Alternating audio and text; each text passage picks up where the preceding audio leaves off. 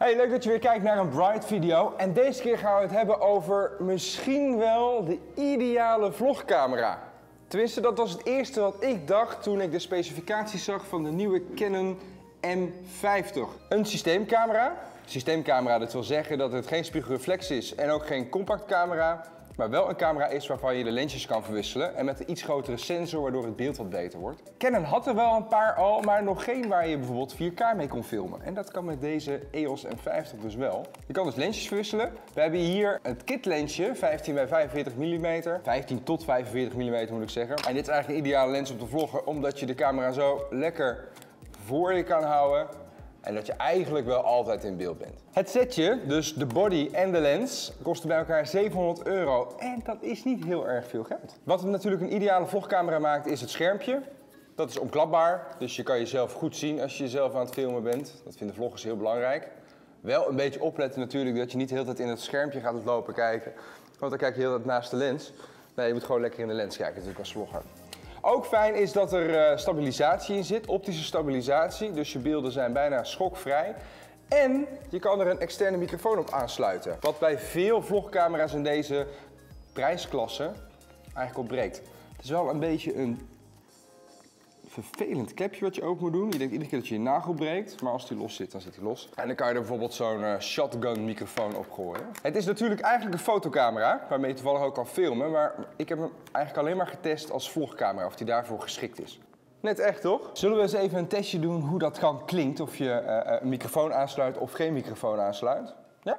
Dit is dus een opname zonder dat de microfoon is aangesloten. En je zult zien dat dit geluid waarschijnlijk minder is dan als ik de microfoon wel aansluit. Let op, nu sluit ik de microfoon aan. Klik. En nu praat ik in de camera met de microfoon bovenop gemonteerd. Dit zou echt veel beter moeten zijn. Dus voor iedere vlogger die denkt van, ah, misschien moet ik zo'n RX100 kopen van Sony bijvoorbeeld. Ja, dan kan je dus niet zo'n microfoon op aansluiten. En dan krijg je dus waarschijnlijk ook een minder goed geluid. Daar heb je bij deze dus geen last van. Verder is heel erg fijn aan deze camera dat hij echt een super snelle autofocus heeft. Dat heet het uh, dual pixel autofocus systeem van Canon. En dat zit bijvoorbeeld ook in de 80D, maar ook in veel duurdere camera's die Canon heeft. Het werkt razendsnel en eigenlijk op het moment dat jij in beeld bent, jouw gezicht en je hebt de gezichtsherkenning aanstaan, dan is het gewoon gelijk scherp. Om die supersnelle autofocus aan jullie te laten zien heb ik even een circuitje gemaakt hier op tafel, zodat jullie gelijk kunnen zien hoe die supersnelle autofocus werkt.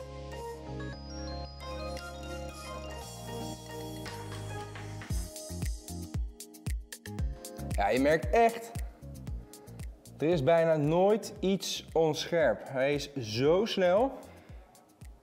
En ook de belichting, die hier natuurlijk wel heel erg goed is, past hij echt rap aan. Alles wat ik je nu heb verteld, die stabilisatie en uh, dat supersnelle autofocus systeem, dat werkt wel alleen als die in Full HD filmt. Zodra die in 4K filmt, wat hij ook prima kan, heb je twee nadelen. De stabilisatie is niet meer optimaal en de autofocus is veel trager, omdat hij dan niet meer gebruik maakt van dat dual pixel autofocus systeem, maar vooral gebruik maakt van contrastverschillen in het plaatje. En daardoor heeft hij gewoon wat meer moeite met scherpstellen. Nog een nadeel als je 4K gaat filmen is dat hij het beeld kropt. Dus normaal, een vlogger die zou zo vloggen. In Full HD heb ik mezelf dan prima in beeld met deze, met deze camera. Maar als ik hem in de 4K-modus zet, dan is mijn arm eigenlijk te kort om een mooi plaatje te maken.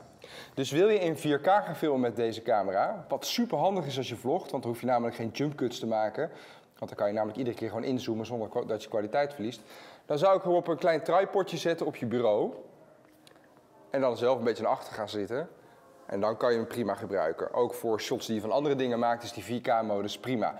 Maar je arm is echt bij de meeste mensen zal die te kort zijn voor uh, eh, 4K. We komen bijna aan het einde van deze video. Ik wil nog één positief ding over deze camera zeggen. Nog een positief ding. Hij is erg gebruiksvriendelijk. Dus heb je hem eenmaal ingesteld, ja, dan doet hij gewoon wat je wil dat hij doet. hij past de lichtomstandigheden goed aan. Hij heeft dus die supersnelle autofocus, een goede microfoon erop en je geluid is gewoon goed. Kortom, hij komt best wel in de buurt van de ideale vlogcamera. Het is jammer dat hij al die ideale dingen niet heeft als hij in 4K filmt. Maar de mogelijkheid om in 4K te filmen zit er in ieder geval op. En voor 700 euro heb je echt dan een prima toestel. Ik hoop dat je het een leuke video vond, dat je er wat aan hebt. Zo niet, laat het dan achter in de comments. Heb je nog aanvullingen, laat het dan ook vooral weten. Vergeet de video ook niet te liken en subscribe op dit YouTube kanaal, zodat je nooit een video van Bright mist. Tot de volgende keer.